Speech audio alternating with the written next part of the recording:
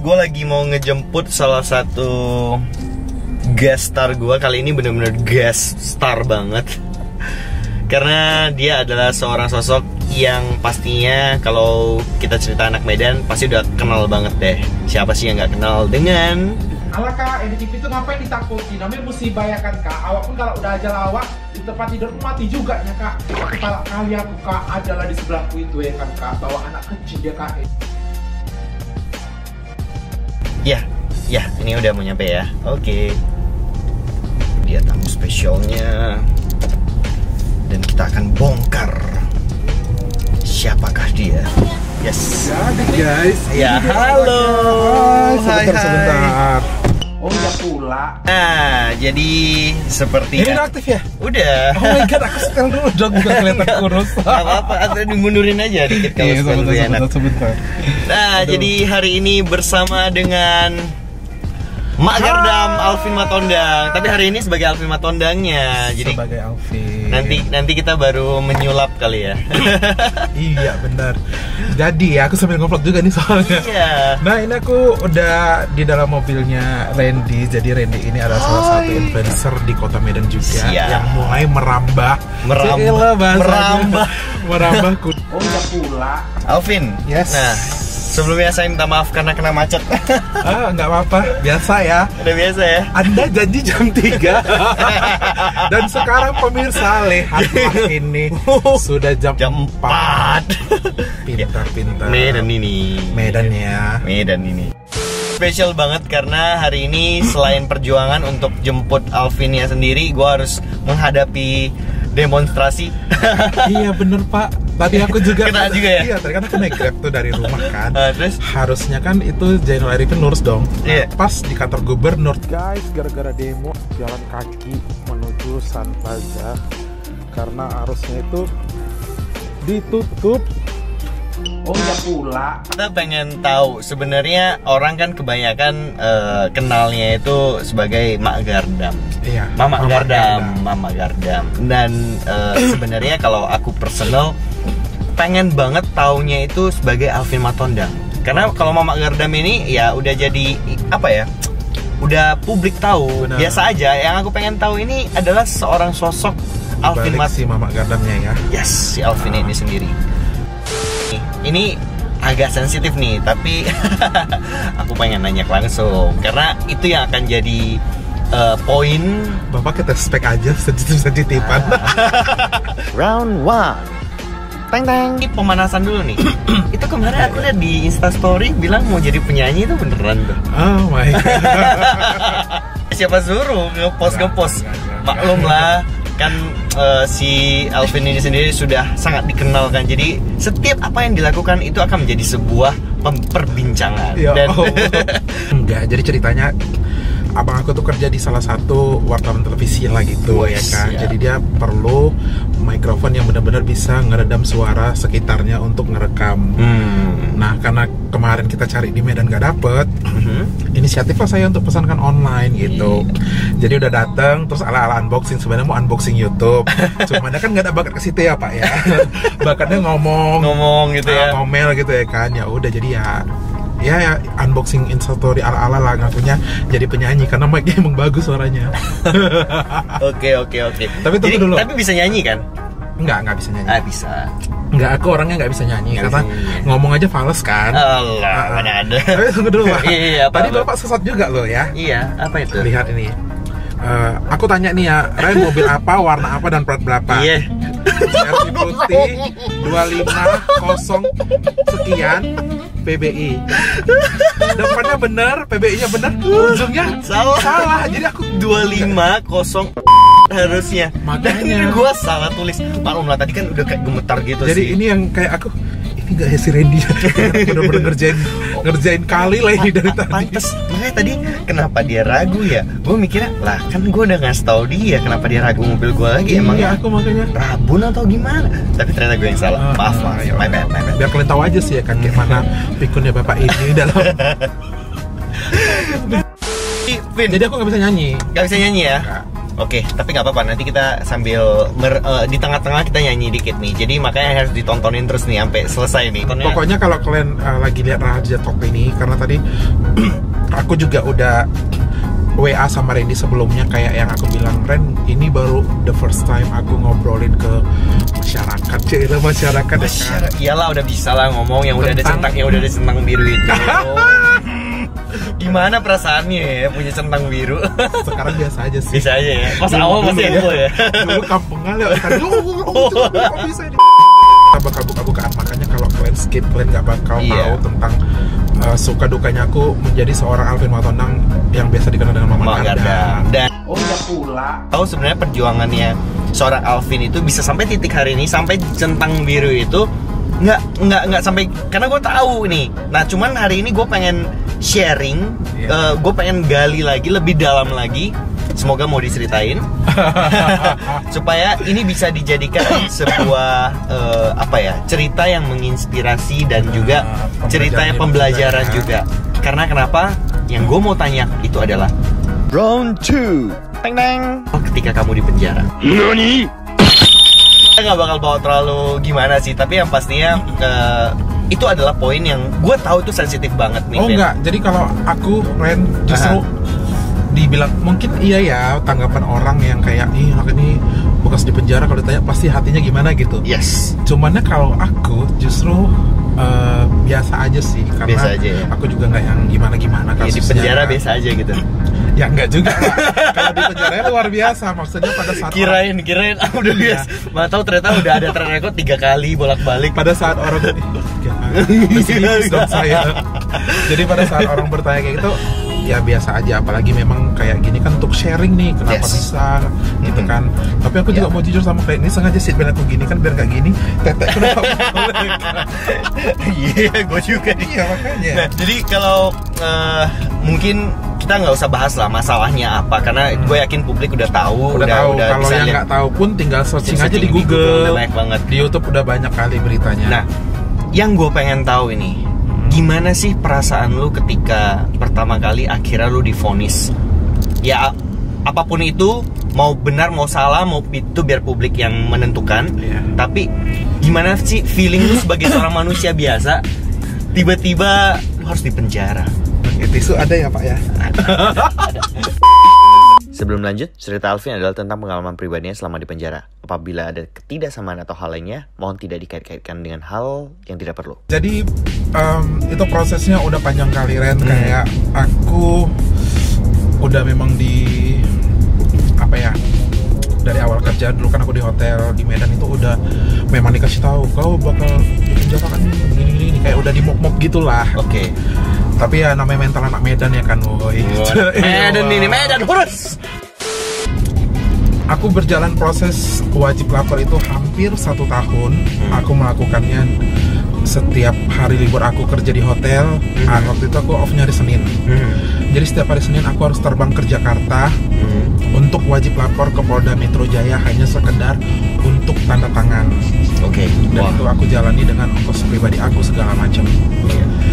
Sampai akhirnya semua selesai Hmm. uang aku di tabungan juga ada habis tinggal sisa 3 juta Iya.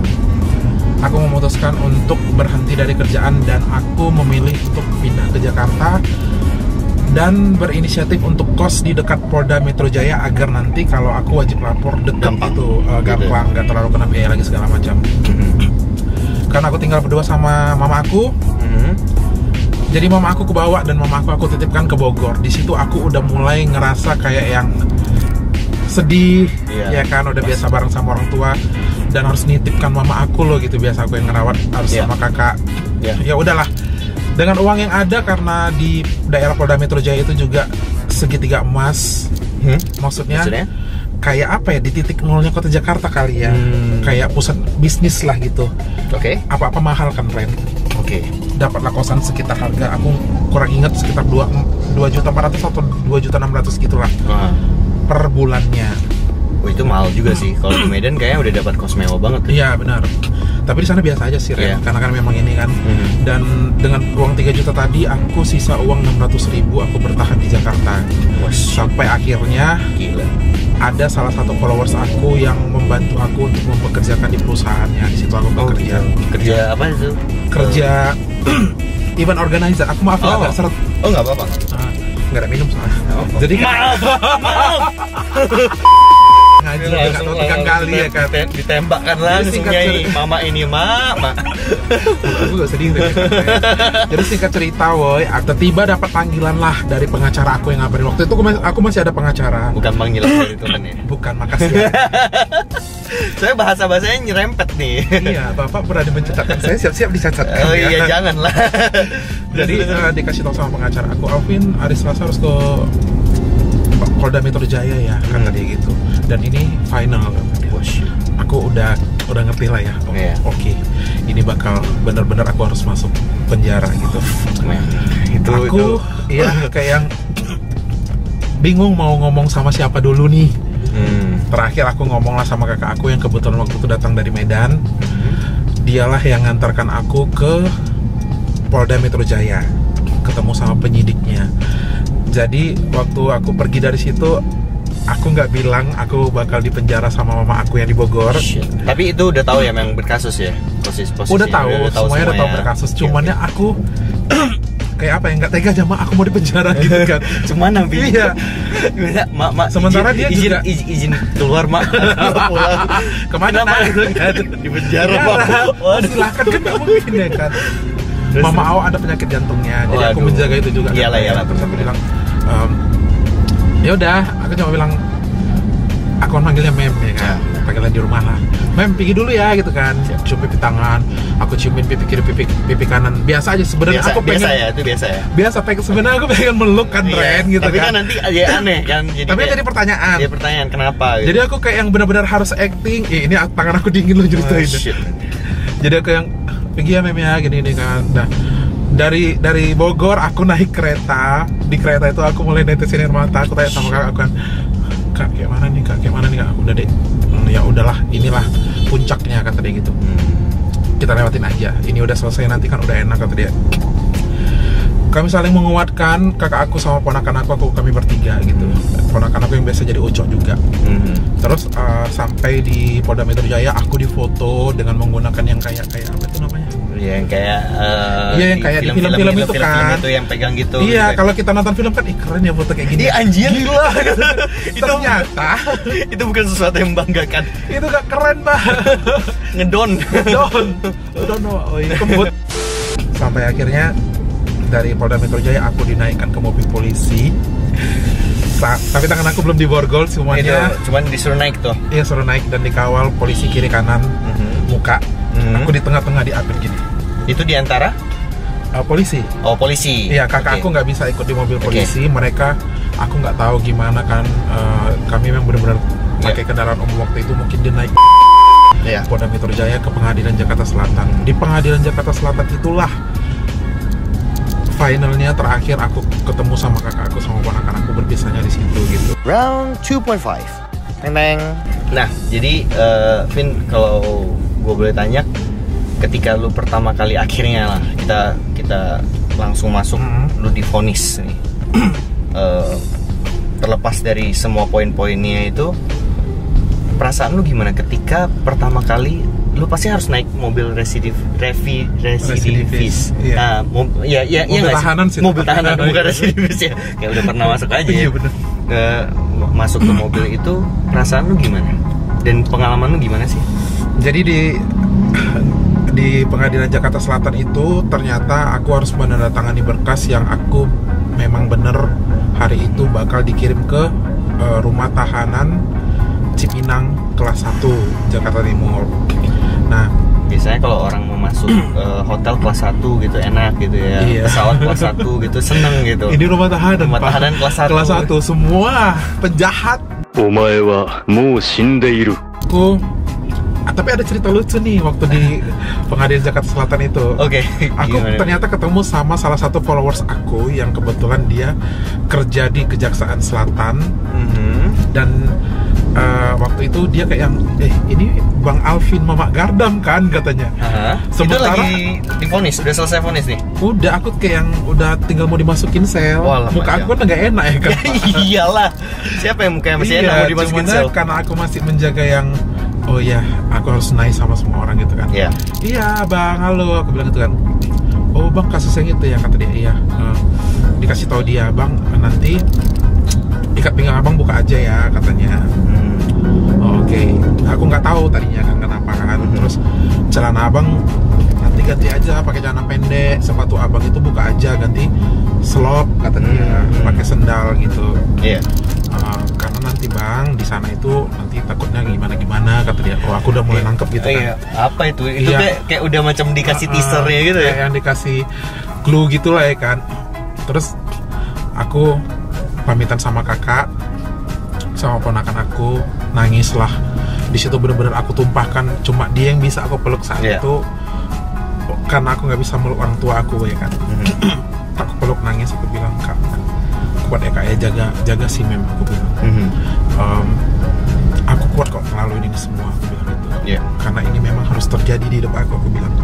tapi dia udah nangis ya dia nggak kuat nggak harus nggak tahu harus ngapain lagi ya kan sementara ponakan aku tadi ini cari keluar cari ke dia untuk belikan selop gantikan sepatu aku Oh. lagi nangis nangisnya tadi si abang tadi minta foto woi. bang Alvin foto dulu ya foto ya kata Agak susah juga ya jadi orang di situ ya. iya Kalau nggak diladeni ya nanti jadi susah ya. mm diladeni gimana gitu kan Gimana itu? Cuman aku mengesampingkan perasaan aku dan apa yang aku rasain. Aku uh, juga senang bertemu dengan dia istilahnya dia pada saat itu memang yang bertemu sama aku kapan lagi gitu kan Iya istilahnya. benar benar benar. Ya udah, ayo bang, ayo bang, aku bilang foto mataku masih merah, aku masih berair nangis gitu kan. Ya udah, habis itu aku buka baju luaran aku, aku cuma pakai baju kaos dalam warna hitam gitu, terus dikasih dia nasi kotak. Nih bang makan dulu ya, kata dia. Nanti abang di sana payah makannya, katanya. Waduh, itu gak enak juga itu Iya. kayaknya. Kau bayangin nggak posisi kau kayak gitu yang tadinya kau hidup bebas harus di udah di, dikasih clue-clue gitu tuh Iya. gimana di sananya ya udah sampai akhirnya udah jam 4 seluruh tahanan yang ada di situ harus dibawa ke Cipinang dan aku dinaikkan terakhir kali ke mobil tahanan itu aku ngelihat mobil tahanan itu udah gemetar udah nggak tahu mau ngapain di dalamnya ada siapa-siapa orangnya kayak mana. Ternyata bener di dalam itu ada sekitar 15-20 orang aku terakhir nggak dapat tempat duduk. Semua ngeliatin aku karena memang pada saat itu aku yang paling bersih di antara yang lain dalam artian bukan so apa ya. Iya, tapi maksudnya bukan bukan preman lah ya. bukan kalau- preman rambut aku kayak yang masih pakai minyak rambut aku tata gini Ren. Iya, iya. gitu kan. Jadi orang tuh ngeliatin. Nah eh, di jalan orang tuh cuma bisa bilang gini ya udah kita Bismillah aja ya Bismillah kata dia gitu kan aku gini kan apa ini yang akan terjadi lagi gitu kan apa ini yang akan terjadi lagi itu di dalam kita benar-benar kayak ayam yang dikandangin Hmm. cuma bisa ngeliat ke ke samping pakai jerjak-jerjak kecil gitu. Aku di situ udah ngerasa bahwa kebebasan aku udah berakhir untuk saat ini. Tahu lah posisinya Nah. kayak mana. Di situ aku coba berusaha komunikasi sama orang itu, bang, abang kenapa rupanya bang kasus ini? Hmm. Dan mereka juga tanya. Itu "Ah, pas lagi ngobrol-ngobrol gitu itu kebanyakan yang penyakit eh penyakit. Oh, kejahatannya apa sih? ada begal?